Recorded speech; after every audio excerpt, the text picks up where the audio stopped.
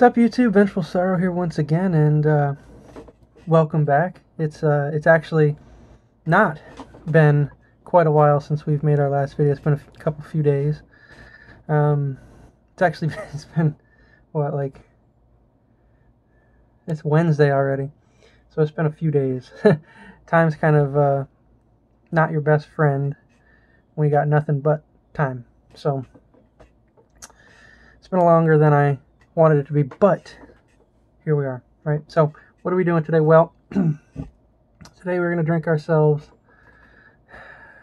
and I can't really ever tell what's the right way up with these videos because I, I don't know if they flip or whatever, but an Icehouse Edge. And why are we drinking ourselves an Icehouse Edge? Well, I've actually done a little bit of experimenting, not for any real purposes, but just because, just just how it happened but uh, I, I, tried a couple few different kinds of beer, just regular beer, and there's a couple that I prefer, and uh, this happens to be one of them.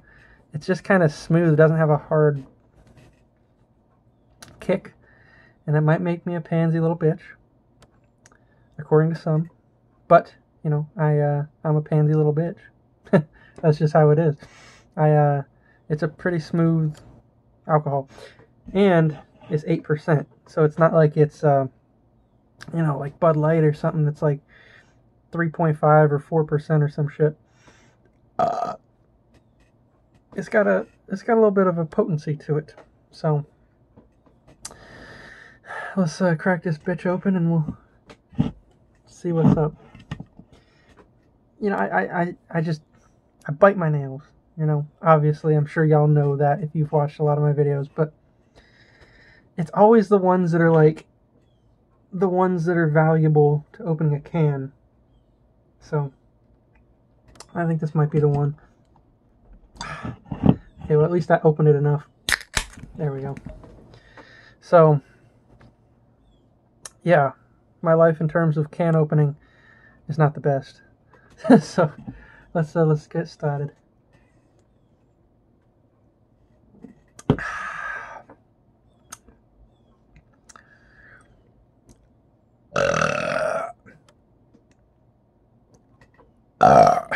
Ice cold, straight out the fridge. Refreshing. Pretty good. I don't know if you guys can hear it, but there's a. It's like a, a couple few. They sound like crows, maybe? Outside, just kind of screaming. Really weird. It's actually. Um, I don't know if I told y'all about this, but and maybe maybe it's right now because I'm not up that early. I haven't noticed it recently. Uh, I did notice it about a week ago, but previously, months ago, th- right like right on the outside of this window, there's a uh, there's a woodpecker that just goes crazy like on the side of the house, and it's woken me up a few times, and it's uh it's loud, loud. Holy crap! Like it seriously might be right on the outside of this window because it like must vibrate something in the window or something to like magnify the sound because it's just loud as hell.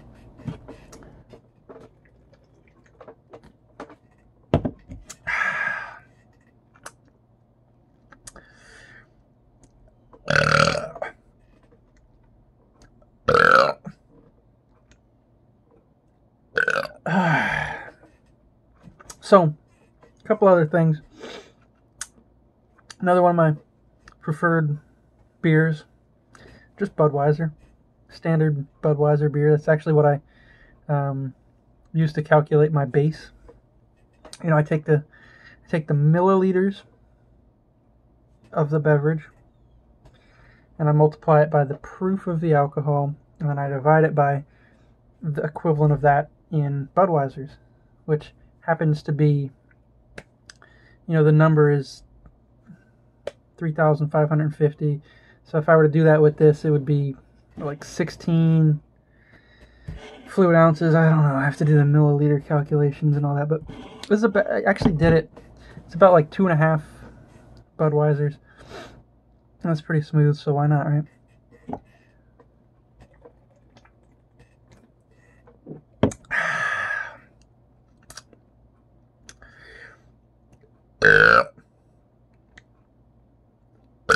we're getting some good burps today. It's been a while since we had that. So, what am I doing today? Well, let me kick you back to about two days ago. Alright, so I said, you know, like I said at the beginning of the video, it's been longer than I anticipated for making a video. I had initially planned on doing some sort of like gaming thing. Right? Well, as it turns out, my um, thing was malfunctioning, right? Like my little box, my little gaming capture box.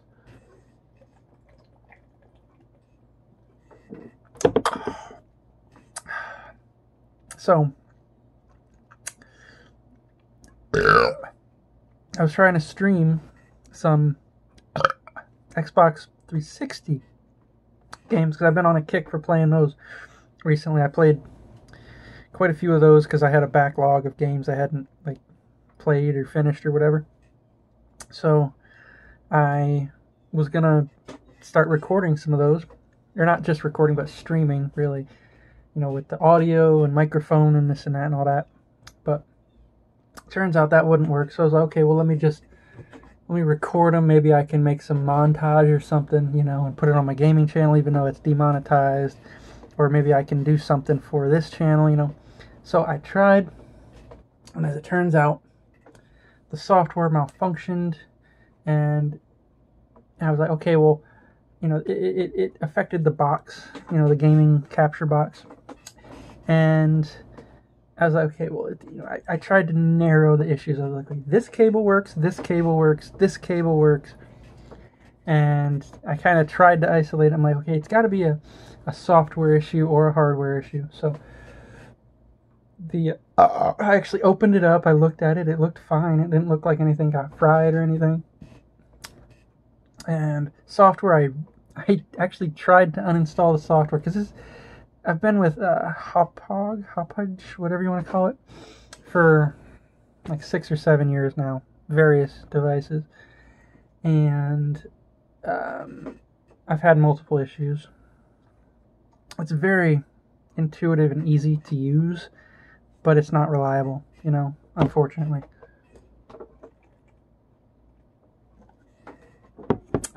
So, I tried to uninstall the software and reinstall it because that's worked before. Turns out the software actually wouldn't uninstall. It like give me some error, can't find the file. So when I go to re-download it, it's like, oh, maybe I'll just download new. It wouldn't download. And at this whole time, since it couldn't find the file, I, I tried to open it. It's like, okay, maybe it works now. Now, it, it, it actually opened the software but it um it didn't populate. It was just like a blank window, really. And I got stuck like that. So I um I I had to look online to find how to fix that particular issue. And I found it. I found a workaround. I was able to completely delete off of my computer the software and uh,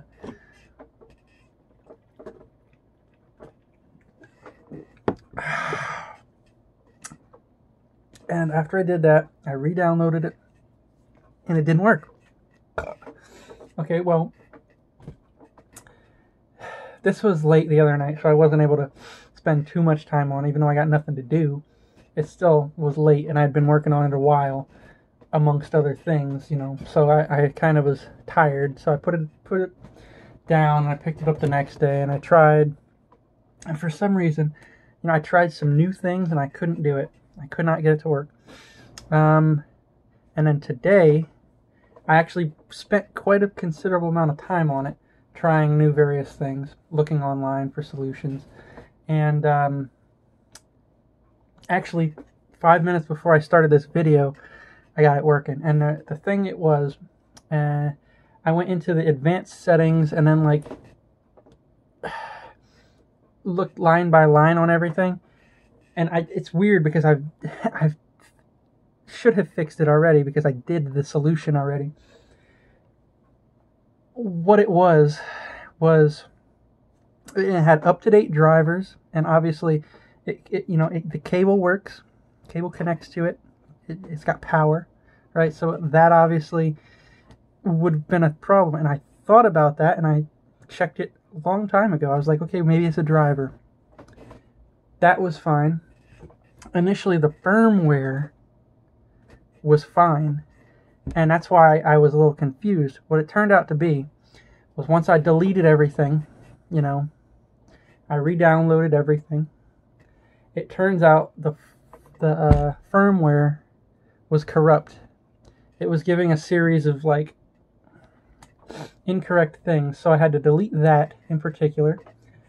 And I re-downloaded it and I booted the computer. You know, like you got to refresh and restart and all that shit, and it worked. Uh, and this is the best sight of my life. A blue light. Because it's been stuck on a dim red light for like two or three days now. And it's been pissing me off.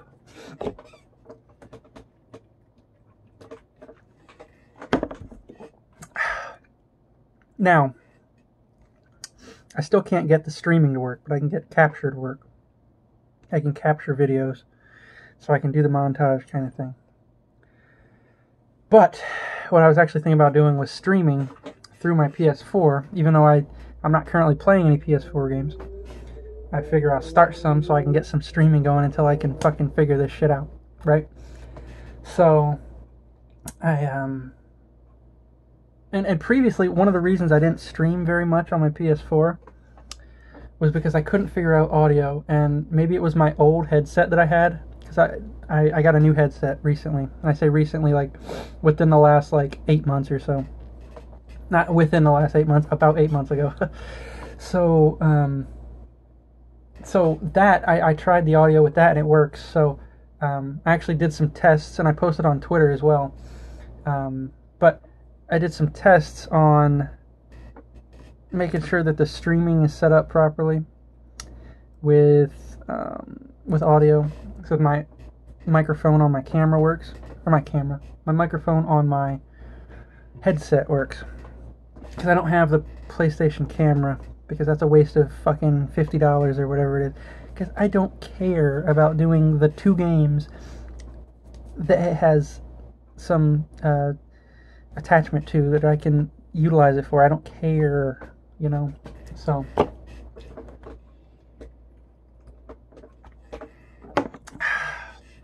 So my plan is after this to start streaming uh, random PS4 games. Perhaps I'll play some.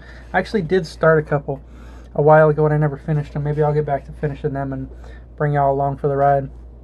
I got uh, The Witness, which I started I just could not get into. I did not like the game. I mean, there's some cool little puzzles and it's like, ooh, that's interesting, but man, after a while, it's just stupid. Uh, so maybe I'll go back and try that. Um, uh, and then Nioh, the uh, like the Japanese setting, Soulsborne esque game. I started that. I want to say like a month maybe ago. I played the first, well, the first level, which was neat, because you're in like the Tower of London or something, and then you go to Japan because you're like a 18th century sailor or some shit, and you go to Japan, and that's that's where game picks up, right? So I started that level, and I got killed by a motherfucker, and I gave it up. I didn't give it up. I just never went back to it. You know, I had other things I was doing at the time, other games, and I just kind of forgot about it. And then I just, when I booted up my PS4 just a little while ago, I saw that that I started that game and I forgot about it. So maybe I'll get back to that. So stay tuned is what I'm saying. Twitch, you know, and, and YouTube, and um, I'm trying to be a little bit more active on YouTube and um, Twitter.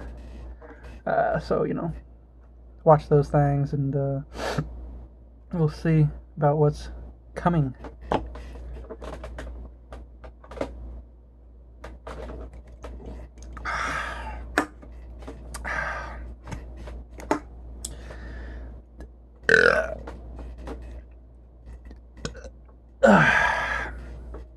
And I bet y'all think that's it, don't you?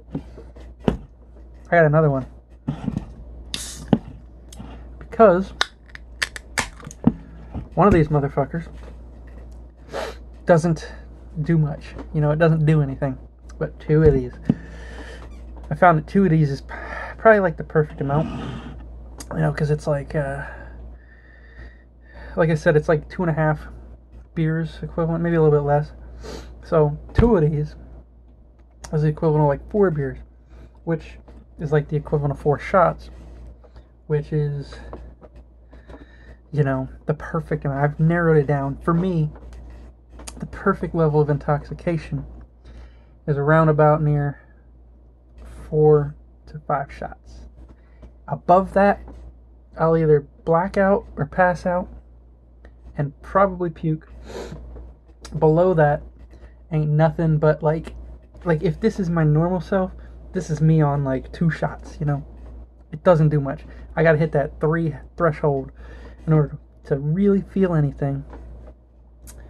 And then four is like the perfect. So between these motherfuckers, we're gonna feel great. And we're going to play some games and uh, bring y'all along for the ride, which you know, with me. So now, unfortunately, I'll get to drinking in a second. Hold on, but unfortunately, this video is gonna take a long time to upload. So I'll put on Twitter first. You know, as the video is uploading, I'll start uploading, then I'll put on Twitter. But um,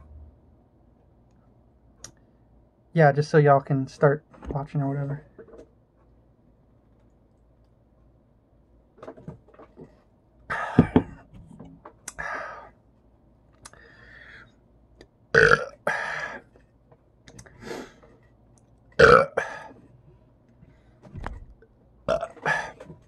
So I'm going to be quicker on this one, I promise. But what I do want to do over the next couple minutes is just tell y'all what I've been doing with gaming. Like I said, I've been playing some um, Xbox 360 games. And some of those games, actually all of them, and the reason I played all of them was because I had started them before previously and I never finished them and I've got a collection. I've actually got a list. I, I went through my collection. I've got a list of like 20 games, maybe. It's less now that I've started and not finished, and I want to finish them all eventually. Not right now, but I want to finish them all so that there's closure, so that I don't have lingering things in my life. You know. So I'm gonna list all the games. I'm going to um, just give a quick, you know, rating and then, uh, damn, I'm fucking dripping. And then, um, and tell you what my favorite was.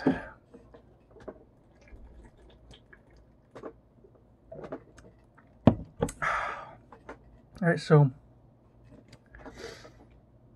and these are these are some some of these are shitty games. I'll be honest. Some of these are games y'all probably never heard of. Of these are games you probably played and hated.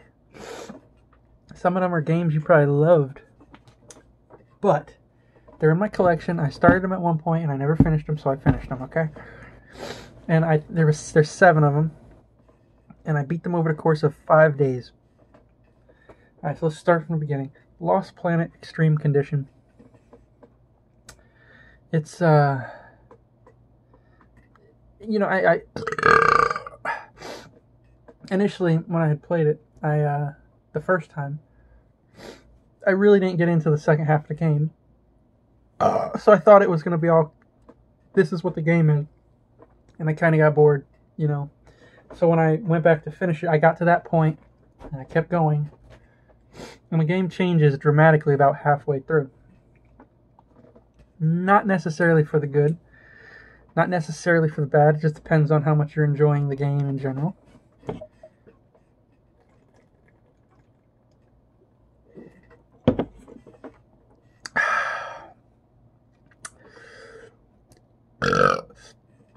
Damn, 20 minutes, guys. Holy fuck. I need to hurry up. Alright, so I preferred the more smaller scale combat of the game in the beginning. Towards the end of the game, it's all mech combat, and the monsters are all gigantic, which, you know, you're in a mech, so it's not as much, but it's a it's a mech game, and I was not expecting that because the first half is very light on that kind of combat. The second half is heavy. In fact, that's all there is.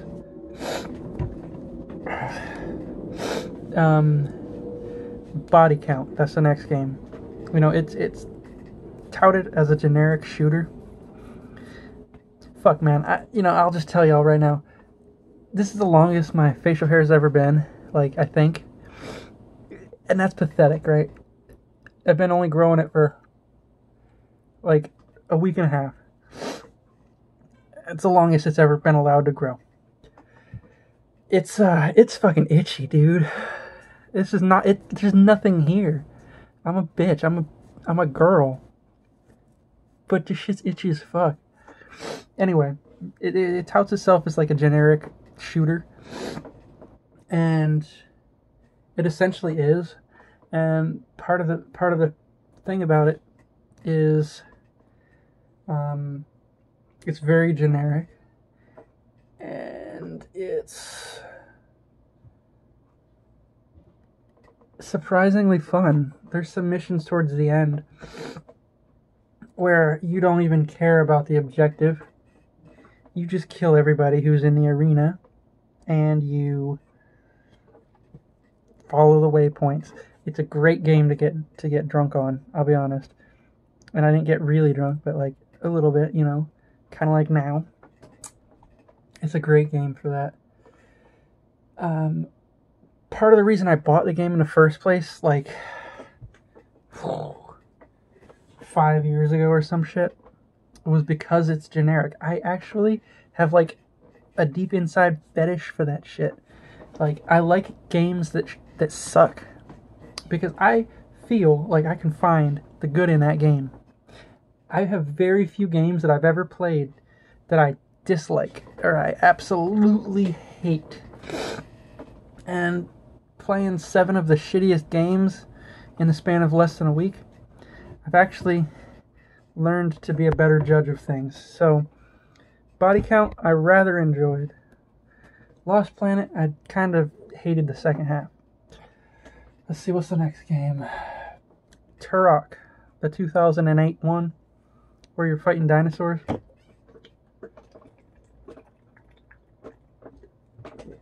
I gotta hurry up because I think the video cuts off at 30 minutes.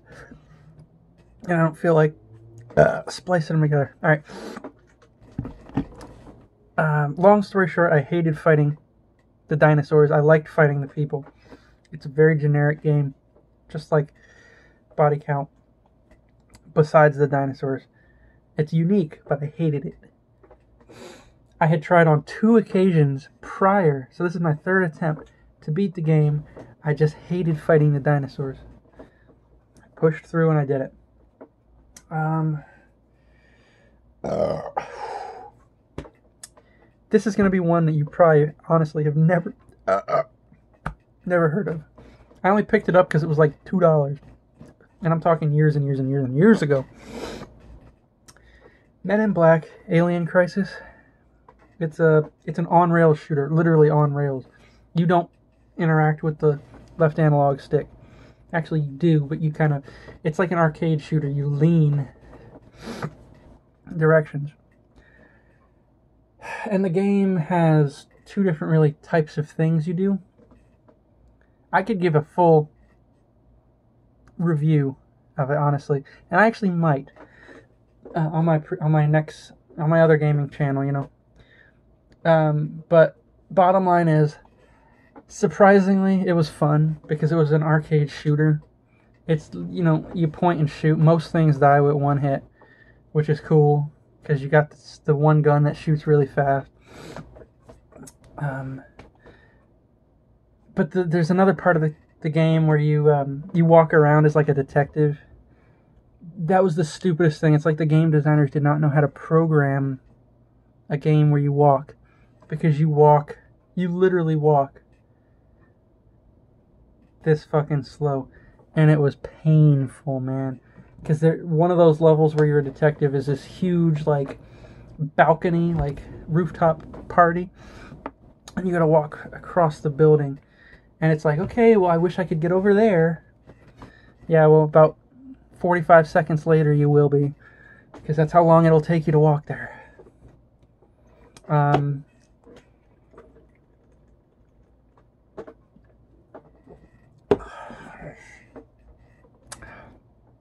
starting to get to me. Gosh, what was the next game I played? I'm probably missing some. Let's see, let's see, let's see. How many did I count? How many do I do? Lost Planet, Body Count, Turok, Men in Black. Alright, so let me think real quick.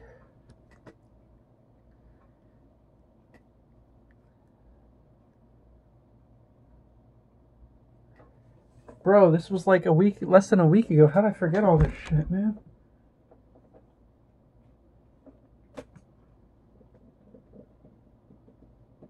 Alright, give me two seconds. I'm gonna look.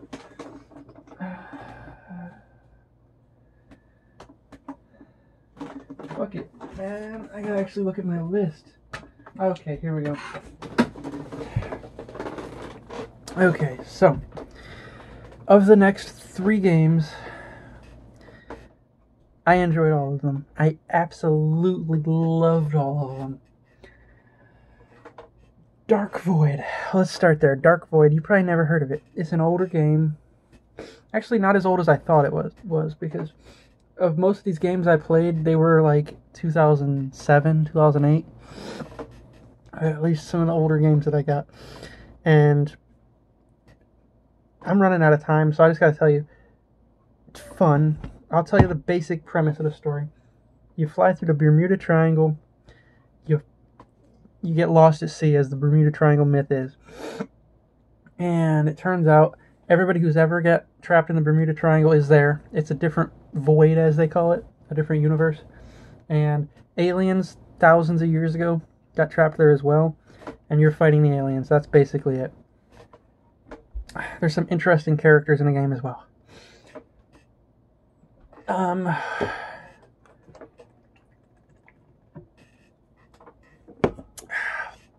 now, this next one might surprise you, considering I don't know how many angles you've seen in my room, you personally, because I know I've seen, I've shown every angle in my room at some point. So if you go back far enough in my videos, you'll find it. I've got two Halo posters on my wall. I've never played Halo ODST. I mean, I played it. Like I said, all these games I played, started, and never finished. I played like the first five minutes of the game, didn't like it, and quit. Not that it was bad, just I gave up. Right? Uh. Now, when I say I absolutely loved this game, I loved it because it was Halo. There was there's actually no elites in the game, and that's actually, as I think back to it, something that I didn't realize until just this moment. It's brutes, jackals, and grunts. That's all you're fighting. There's some ghosts, and some wraiths, and some banshees, and there's even a scarab in there that's the game, you know. So basically, th- there's two parts to the game, and I hate one of them. I despise one of them. There's an overworld, kind of like a Zelda overworld. It's called the New, New Mombasa Streets. It, you might as well have been in New York City. It's just basically skyscrapers or walls on either side. It's very dark. You have to use the, the night vision uh, ability to see. Otherwise, you're not going to see anything. So basically that. Basically, um, there's that, and basically that overworld is you get from point to point. Now there's like six or seven missions. That's it. That's not a lot. You know, I wish there was more content, but I wish there wasn't this overworld on the stupid game because that sucks. Anyway, the missions are fun. The missions are very fun because they're goal oriented, they're mission oriented, you know, orientated. You go from point to point and you do things like there's do this next, then do this next, then do this next. The overworld is basically go here to get your next mission, and I, I hated it. Why couldn't you just give me the next mission? Anyway, um, last one, and it's my favorite.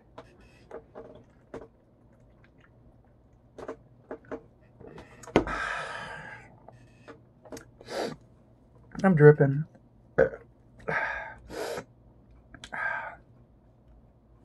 Anyway, um, Tom Clancy's Rainbow Six Vegas.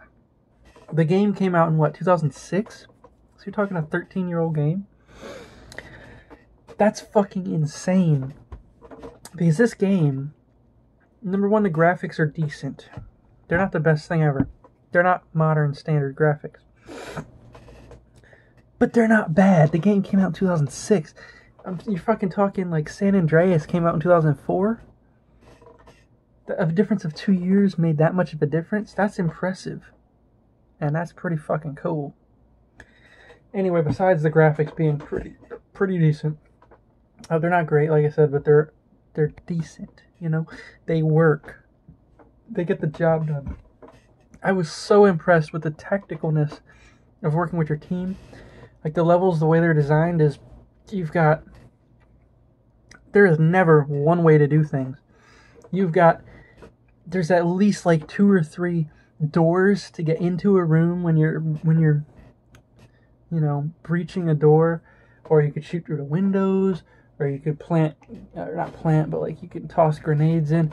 And and there's different just so many different ways for your team for you to control your team to get things done you know? It's just so such a good game. I was so impressed. I didn't give a shit about the story. I just fucking loved that gameplay. And i was so impressed with a game that was 13 years old to be that good. And something's been sitting in my collection for like eight years or so. And I tried it and I fucking hated it because it's very hard to get into. The control scheme is so different than nowadays, right? Back then there was no standard, you know. There was no like nowadays you point or you aim with the left trigger and then you shoot with the right. In this game, you take cover with the left trigger, and then you can go different directions. You zoom in with the right thumbstick, which is similar to Halo, which was intuitive for me because I played